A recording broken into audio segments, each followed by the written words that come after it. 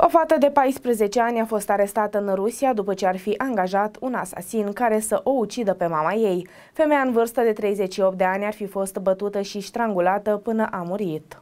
Anchetatorii au aflat că fica ei și iubitul acesteia, în vârstă de 15 ani, ar fi ordonat moartea femeii, scrie dailystar.com. Două zile mai târziu, cadavrul mamei a fost găsit înfășurat în plastic într-o saltea și aruncat într-un tomberon. Femeia i-ar fi cerut iubitului fiicei sale să plece din apartamentul lui, spunând că este o influență rea asupra acesteia. Investigatorii suspectează că fica femeii și prietenul ei au plătit doi adolescenți să o omoare. Suma încasată de ei ar fi fost de aproximativ 4500 de dolari. Ucigașii au fost duși în arest într-un centru de detenție pentru tineri timp de o lună, în așteptarea unor investigații suplimentare, relatează știrile protv.ro.